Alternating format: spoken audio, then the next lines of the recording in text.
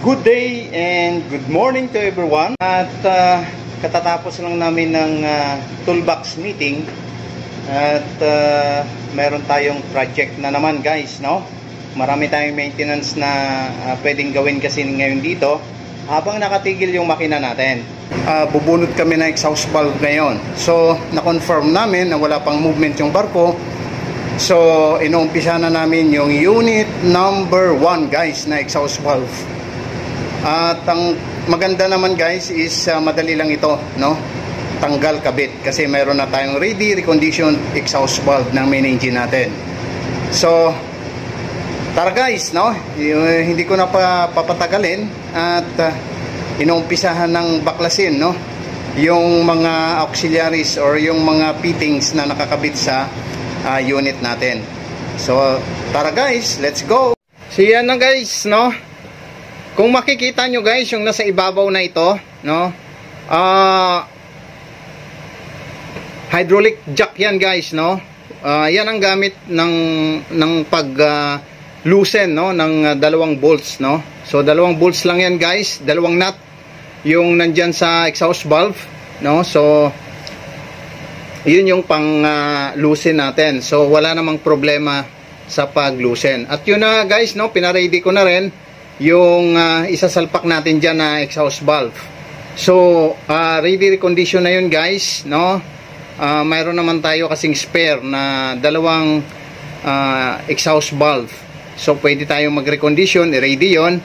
At ito, pinalinis ko na rin yan, guys, no? Yung pagsasalpakan. So, pinalinis ko na rin yan. At in-inspection ko rin yung loob ng liner. So, okay naman so far. At yun, pina-ready ko na para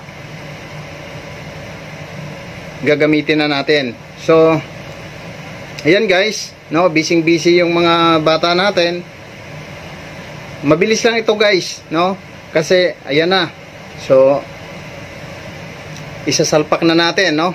After uh, linis ng lahat at uh, naglagay na ng o-ring, no, sa ilalim. So, ayan, sasalpak na natin guys yung ready recondition na exhaust valve. Ayan guys yung uh, exhaust valve, no, ng uh, main engine natin. So isang exhaust valve lang yan guys, no? At saka hydraulic drive, no? Yung pinaka spring niyan guys, no, is uh, control air. Okay guys? So control air yung uh, nagsasarado niyan.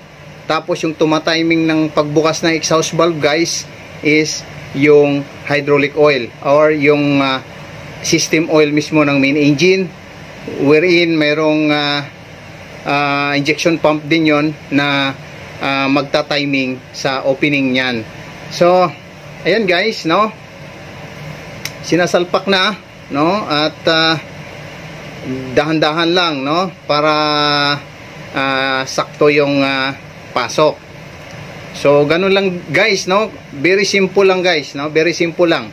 No? Mabilis lang ito guys, no? Kasi uh, after ano na ito no after lunch na ito uh, before lunch guys uh, ready na ito lahat no nakasalpak na ito so mabilis lang lalo na pagkakabisado nyo na ang ginagawa so uh, madali lang naman at uh, yan no uh, medyo hindi masyado tumama yung uh, ano sa ilalim. So ayan inuulit. At yun na salpak na. So ayan na guys no?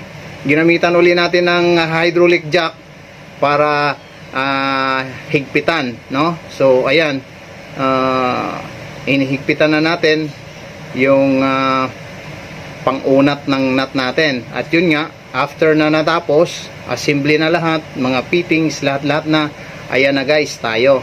So ready na ulit tayo. So ayan guys no? Ready na yung makina natin